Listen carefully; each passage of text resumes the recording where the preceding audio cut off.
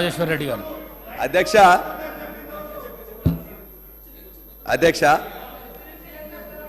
వారు ఒక శ్రీధర్ బాబు గారు అడిగారు మేము ఖచ్చితంగా ఆహ్వానిస్తున్నాం. వాళ్ళందరూ కూడా ఉపయోగపడే విధంగా మరిన్ని బస్సులు పెంచండి. అదేవిధంగా ఆర్టీసీ ఎంప్లాయీస్ అందరికీ మేము ఏదైతే జీవో ఇచ్చేసి వాళ్ళందరినీ పర్మనెంట్ చేసినాం వాళ్ళందరినీ పర్మనెంట్ చేస్తూ జీవో ఇవ్వండి. ప్రభుత్వ ఉద్యోగులుగా గుర్తిస్తూ ప్రభుత్వ ఉద్యోగులుగా గుర్తిస్తూ మేము జీవో ఇచ్చిన దాన్ని గట్టిగా అమలు చేయండి. మీరు చెప్పిన ఆరు గ్యారంటీల్లో రెండు ఇచ్చినామని చెప్పింది మీరు చెప్పింది ఎట్లా ఉందంటే దయచేసి మీరు మాట్లాడినరు. మేము విన్నాం. మధ్యలో మాట్లాడుతున్నారు మంత్రి గారు. మీరు అందరూ కూడా కామెంట్ చేస్తే ఎట్లా? మేము విన్న తర్వాత మీరు మళ్ళా చేసుకోండి. మీరు ఈ ఆరు గ్యారంటీలు చెప్పినా ఎట్లా ఉన్నాయంటే పంచపాండవులు మంచం కోళ్ళ వలె ముగ్గురు అని రెండేళ్ళు చూపించిందట అట్లా మేము ఆరు అని చెప్తూ పదమూడు అని చెప్పి చెప్పిన సందర్భంగా ఉన్నది. అవి ఆరు కావు పదమూడు అంశాలు. ఆరు గ్యారంటీలో పదమూడు అంశాలు మళ్ళా నూట నాలుగు వందల ఇరవై నాలుగు వందల ఇరవై మేము అడగట్లే. ఈ పదమూడు అంశాల గురించి అడుగుతున్నాం. ఈ ఆరు గ్యారంటీల్లో ఖచ్చితంగా ఎవరైతే ఇవాళ డ్రైవర్లు ఆటో డ్రైవర్లు ఉన్నారో మూడు డిమాండ్లు మేము ఖచ్చితంగా పెడుతున్నాం. చనిపోయిన ఇరవై ఒక్క మంది ఆటో డ్రైవర్లకు తక్షణమే వారి కుటుంబానికి ఇరవై లక్షల రూపాయలు ఎక్స్గ్రేషియా ప్రకటించాలి. రెండోది వాళ్ళ కుటుంబాలు ఎవరైతే ఇలా మూడు వందల రూపాయలు కిరాయి తీసుకొని రెండు వందలు డీజిల్ తీసుకొని ఐదు వందల రూపాయలు కూలి కూడా పడతలేదు కాబట్టి ఆ కుటుంబాలకి వ్యవసాయాలకు రుణమాఫీ ఎట్లిస్తున్నావో చాలా బీద వాళ్ళు చదువుకోని వాళ్ళు కష్టపడుతున్న వాళ్ళందరూ కూడా ఇలా గ్రామీణ ప్రాంతం నుంచి ఇక్కడికి వచ్చింది కాబట్టి ఆటో రుణమాఫీ కూడా చేయాలని చెప్పి కూడా ఈ సందర్భంగా మేము కోరుతున్నాం. మూడో అంశం ఇవాళ ఖచ్చితంగా వాళ్ళు తినడానికి కూడా తిండి దొరకట్లేదు కాబట్టి మీరు చెప్పే పన్నెండు వేల రూపాయలు సంవత్సరానికి ఎక్కడా సరిపోదు. కాబట్టి నెలకు పదివేల రూపాయలు ఇచ్చినట్లయితే ఆరున్నర లక్షల కుటుంబాలు బాగైతే అని చెప్పేసి ఇది మూడో డిమాండ్గా మీ ద్వారా ఇవాళ ప్రభుత్వానికి పెడతా ఉన్నాం. అధ్యక్ష ఎందుకు? మీ ప్రచారం ఎంతుందో చెప్పాను. ఇరవై లక్షల రూపాయలు ఇరవై కోట్ల రూపాయలు చేసిండ్రు అరవై కోట్ల ప్రచారం చేసుకున్నాని పదిహేను కోట్ల మంది చేసిన దాన్ని ఆహ్వానిస్తున్నాం. బస్సులు పెంచండి వాళ్ళందరికీ మరింత సౌకర్యవంతంగా ఉండేటట్టు చూడమని చెప్పి కూడా కోరుతున్నాం. అధ్యక్ష అంతేకాదు ఈ ఆరు గ్యారంటీలది పదమూడు అంశాలది ఖచ్చితంగా తొందరగా వంద రోజుల్లో ఏదైతే చేస్తారో అది ఇందులో ప్రస్తావిస్తే బాగుండేది అని చెప్పేసి అనుకుంటున్న గవర్నర్ దానిలో ప్రస్తావించలే. ప్రస్తావించినట్టయితే బాగుండు. ఇవాళ భారత్ ఇవాళ ఈ రాష్ట్రంలో యాభై ఐదు నుండి అరవై శాతం గ్రామీణ ప్రజలు మొత్తం కూడా వ్యవసాయం మీద ఆధారపడి ఉంటారు. వ్యవసాయ ఆధారిత సంబంధిత పరిశ్రమల మీద ఆధారపడి ఉంటారు. వాటి గురించి ఒక చిన్న పారా మెన్షన్ చేసిండ్రు గవర్నర్ ప్రసంగంలో. ఏమి ఎక్కువ మెన్షన్ చేయలేదు అధ్యక్ష. ఇవాళ దాని గురించి మెన్షన్ చేయని దాని గారి గురించి వారి యొక్క సభ్యులు కూడా మాట్లాడుతూ ఇక్కడ ఏమి జరగలేదని పది సంవత్సరాల్లో. అధ్యక్ష పది సంవత్సరంలో రెండు వేల పది పన్నెండులో రెండు వేల పద్నాలుగులో సాగు విస్తీర్ణం ఎంతున్నది? సాగు ఉత్పత్తి ఎంతైంది? ఉత్పాదకత ఎంతైంది? ఇవాళ రికార్డ్స్ మొత్తం కూడా తీసుకోండి అధ్యక్ష. నీతి ఆయోగ్ రమేష్ చంద్ గారు మొన్ననే ప్రవేశపెట్టిన దాంట్లో భారతదేశంలో తెలంగాణ నుంచి వెళ్ళి పది సంవత్సరాల అధ్యక్ష తెలంగాణ నుంచి వెళ్ళి రమేష్ చంద్ గారు నీతి ఆయోగ్ సభ్యులు వాళ్ళు ప్రవేశపెట్టిన దానిలో వారే చెప్పారు. ఇవాళ సిక్కిం తర్వాత భారతదేశంలో ఇవాళ వ్యవసాయ రంగం నుంచి వెళ్ళి ఆర్థిక రంగానికి అత్యధిక ఎక్కువగా వస్తున్నది ఒక తెలంగాణ రాష్ట్రంలో మాత్రమే అని చెప్పారు. ఆ సిక్కిం కూడా ఎంత అధ్యక్ష? ఆరు లక్షల జనాభా సిక్కింది.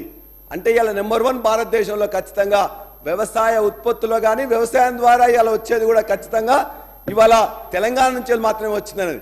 ఎట్లా వచ్చింది అధ్యక్ష ఇదంతా కూడా? తెలంగాణలో విస్తీర్ణం పెరగ సాగు విస్తీర్ణం పెరిగింది.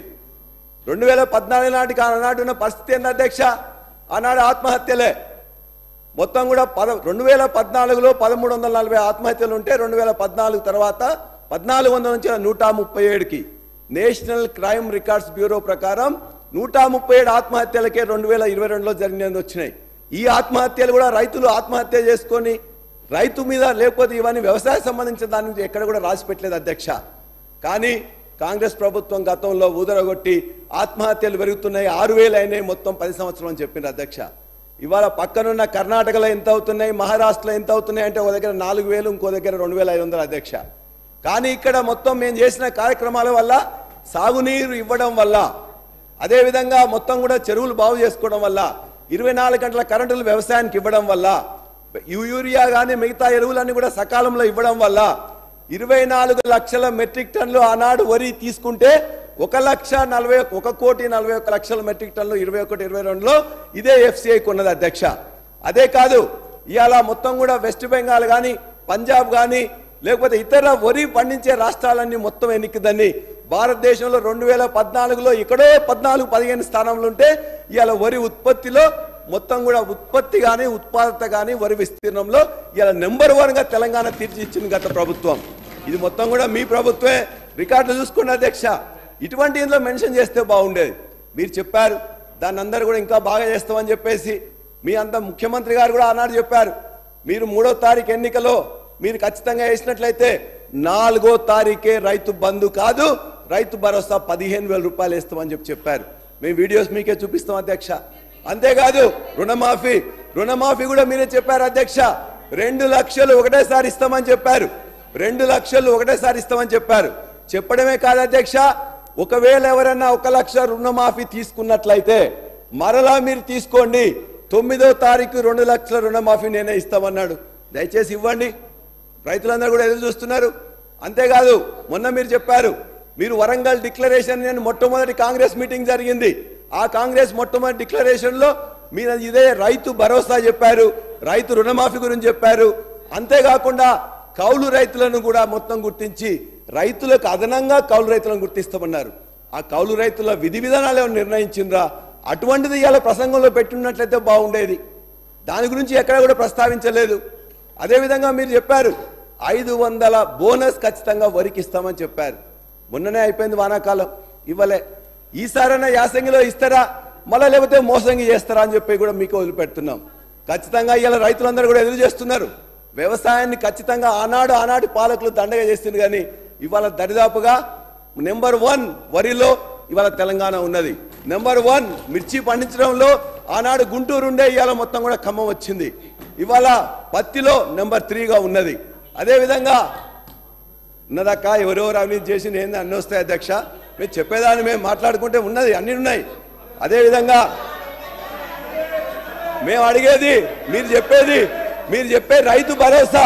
మీరు చెప్పారు కదా? మీ రైతు భరోసా గురించి పక్కన పెట్టండి. ఏదైతే మేము చెప్పనియండి రైతు బంధు మీరు ఇస్తా అన్నారు కదా కనీసం రైతు భరోసా. అధ్యక్ష వారింకా వారింకా పల్లా రాజేశ్వర రెడ్డి గారు గౌరవ సభ్యులు అధికారంలో ఉన్నాము. మేము ఏం చెప్తే మీరు వినాలి అనేటువంటి సైకాలజీ ఫీలింగ్లోనూ ఆ ప్రభు ఆ పక్షాన్ని ఉన్నటువంటి. దయచేసి దయచేసి మనసు మార్చుకోండి మైండ్ సెట్ మైండ్ సెట్ మార్చుకోండి. మైండ్ సెట్ మార్చుకోవాల్సిన అవసరం ఉంది అలా. నిన్నటి దాకా పదేళ్ళ అధికారంలో ఉన్న వీళ్ళు ఆర్టీసీకి సంబంధించి ఆర్టీసీకి సంబంధించి తెలంగాణ ఉద్యమం కోసం నై చెలేగా బస్ కప్పయ్యా నై చెలేగా అని ఉద్యమం చేసిన వాళ్ళ గురించి పట్టించుకోని వీళ్ళు. అరవై రోజులు సమ్మె చేస్తే ఆత్మహత్యలు చేసుకుంటే పట్టించుకోని వీళ్ళు. ఇలా ఆర్టీసీ గురించి మాట్లాడుతున్నారు అధ్యక్ష ఇలా తెలంగాణ ప్రభుత్వం అధికారంలో కాంగ్రెస్ పార్టీ వచ్చిన తర్వాత ఇప్పటి వరకు పదిహేను కోట్ల మంది పైగా మహిళా అక్క చెల్లెళ్ళకు ఉచితంగా ఇలా బస్ సౌకర్యం ఇచ్చినామని మాట మనం చేస్తున్నాం. ఐదు వందల ముప్పై ఐదు కోట్ల రూపాయల విలువ కలిగేటువంటి బస్ ఫేర్స్ను ప్రభుత్వం భరించింది అధ్యక్ష ఇలా ఇలా వీళ్ళు మాట్లాడుతున్నారు పెద్దలు గౌరవ మాజీ మంత్రి హరీష్ రావు గారు అనాలోచిత డిమాండ్ పదిహేను వేలు ఆటోకి ఇవ్వాలంట నెలకు. మీరేమిచ్చారు వెయ్యి రూపాయలని ఇచ్చిందా ఒకవైపు ఆటో పన్ను రద్దు చేస్తున్నామని చాలా పేరు మీద వేల రూపాయలు వీపులు ఒకటి ఆటో కార్మికుల దగ్గర పోయి మాట్లాడదాం. సభను తప్పుదో పట్టించే విధంగా ఇరవై ఒక్క మంది ఆత్మహత్య చేసుకున్నారని చెప్తా ఉన్నారు ఇలా. అవన్నీ కూడా మీరు అనవసరంగా ప్రేరేపించి వాళ్ళని మన ఎక్కడ కూడా ఇలా సార్. మేము ఆటో బస్సు ప్యాసింజర్ ఇంటికి పోతలే. ఆటో బస్సు బస్ స్టాండ్కు ఆటో వాళ్ళను ఆటో వాళ్ళను బస్ స్టాండ్కి తీసుకొచ్చే బాధ్యత ప్రజలను.